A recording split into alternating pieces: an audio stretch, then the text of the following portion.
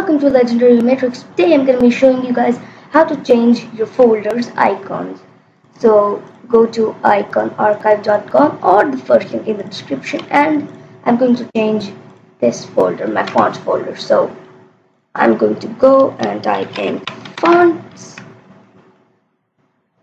and you can change any whatsoever icon with this so here we are. I'm just going to pick one of these. And you have to download the ICO click on the ICO and it should start downloading. Just wait it out. Do something. And once it's done you will hit the Windows and R key at the same time. And type in downloads.